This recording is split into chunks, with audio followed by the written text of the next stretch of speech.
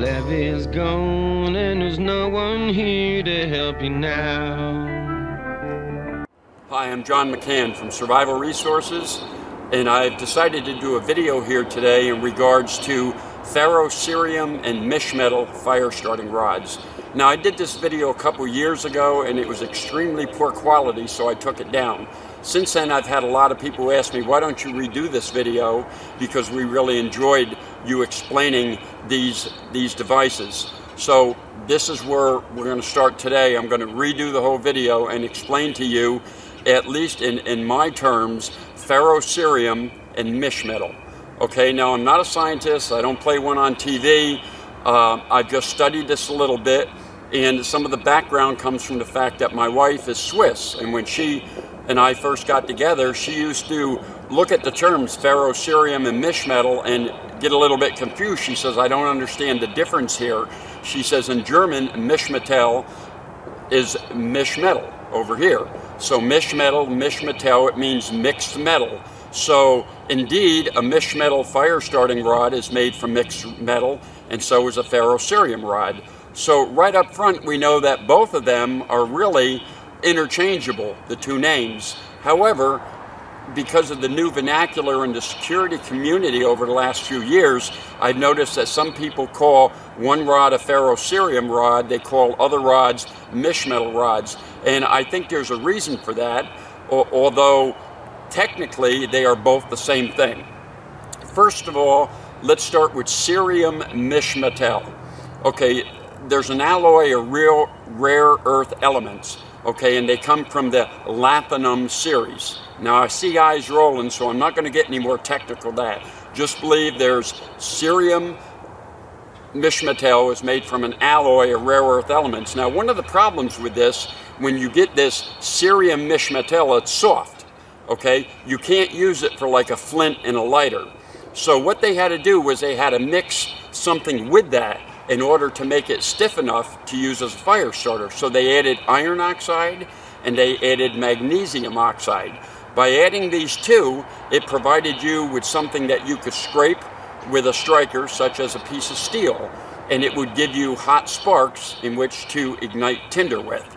Now, both ferrocerium rod and a mish metal rod are made from these items, okay? Cerium and ferro, which is your iron, and magnesium. Now the term ferrocerium comes from this original term. You have ferro, which is iron, and you have your cerium, which is these alloys of elements from the lanthanum series.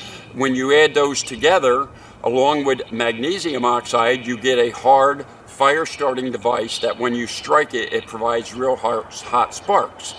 Now, let's enter the 21st century. People wanted a hotter fire starter. What I mean by hotter is they wanted the sparks to be hotter. So what they did was they lowered the iron content and increased the magnesium content. What this gives you now, instead of very hot sparks coming out of what I still call the ferrocerium rod, it gives you globs of burning magnesium, hot globs of burning magnesium. Now, when these things land, they continue to burn for a while. Uh, a lot of people are calling these mish metal rods. They're actually ferrocerium rods, they're actually mish metal rods. Nobody's wrong, nobody's right. But the problem is a lot of people who are selling these things don't know what they're selling. If you ask them, what kind of fire starting rod is this? Is this the harder, more iron content, less magnesium content, or is it the softer, more magnesium content, less iron content? A lot of people don't know. There are those who do, and I give them credit, but I've checked with a lot of different shops anonymously and said, you know, which type of fire rod is this? And they say, well, it's a fire starting rod. It's, it's a ferrocerium rod. Um, this could cause a problem if you don't know, and if they can't answer your question, you really don't know what you're buying. Now, I myself, being from the old school, I really prefer the what I call the older type mish metal or ferrocerium rods that are hotter in iron or higher in iron content and less of the magnesium. And I've got some laid out here and I'm going to show you a close-up of these and how these work. Most of these are Swedish fire steels. Not all of them are made in Sweden, but most, a lot of them are. Uh, my, the Light My Fire, the Scouts, the Irons, all this, the uh, Blast Match, the Strike Force, all of these are all made from the heavy iron, less magnesium. And these will give you real hot sparks. Now with the hot sparks, what some people have a problem with is they haven't properly prepared their tinder and they don't have these burning chunks of magnesium like you have in the newer type rods and so they have a problem starting the fire. Myself personally, as long as I've prepared my tinder properly, I really don't have a problem starting a fire with a ferro rod. I like the real hot sparks and a lot of them. Okay, now over here I have some of the newer type rods, which I personally call mish metal. I know I see the eyes rolling again. They're ferrocerium, they are mish metal, but these are higher in magnesium content and they're lower in the iron content. And these are the ones that will give you these burning chunks of magnesium that will continue to burn after they land in your nest or your tinder bundle uh, if you can get them to land there. Myself personally, uh, I find them more difficult to aim because these chunks seem to fly all over. I'm told that that's just myself, that other people don't have this problem. Uh, the purpose of this video is not to guide you one way or the other, but to explain that there are two types of fire starting rods out there and you should know the difference between the two and then you should choose the ones that work for you. Okay, what I want to do now is get a close-up of these rods. I'm going to strike a couple of them and show you the difference of how some produce just sparks and some pro produce molten pieces of magnesium that's going to continue to burn after it lands in your tinder. Okay, as you can see, I have some of the various rods laid out here, ferrocerium, mish metal, whichever you want to call them. These over here are the higher in iron content and less of the magnesium content, what I've always called the ferrocerium rod, although they are mish metal. Okay, over here we have the new softer, more magnesium, less iron.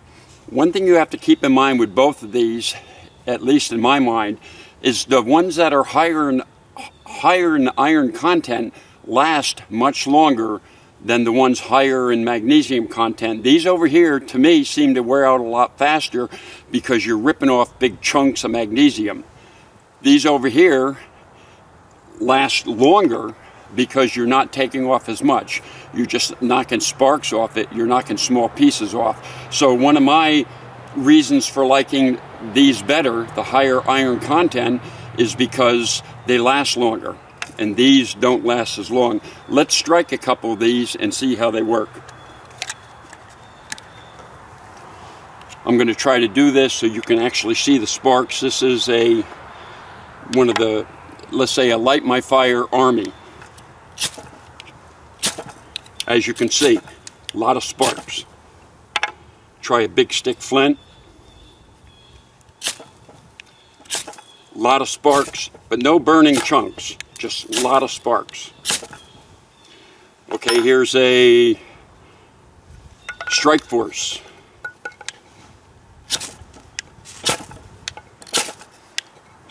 As you can see again, a lot of sparks, no burning chunks.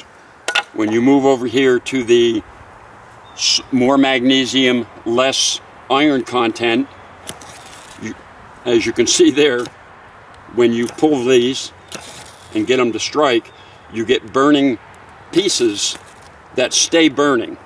And this is what a lot of people prefer these for, is because they continue to burn after they land in your tinder. But keep in mind that these wear out a lot faster. Here's a little one called the Nano Striker.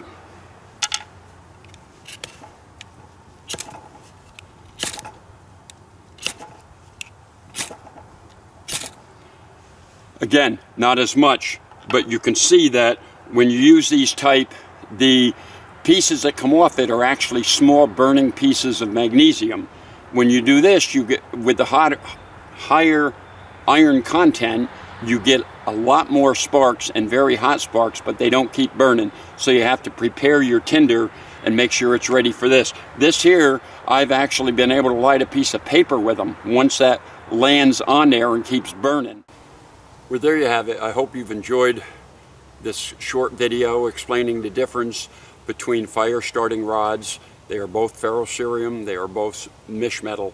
Um, I hope you have a better understanding though that are some are have a higher iron content and less magnesium and some have a higher magnesium and less iron giving you different results the first one being hot sparks the second one being molten pieces of magnesium I'd like to thank you as always for joining us. I'd like to make a note that when you check our website that we do have our fire starting devices segregated into two sections one higher iron content less magnesium and softer rods being higher in magnesium and less than iron so that when you come to buy products from us you know the difference and you know what you're buying. Anyway, I thank you for your views. I thank you for joining us. I thank you for supporting both our store and our business. If for no other reason stopping by our site, check out some of our articles and check out some of our videos and we'll see you next time around.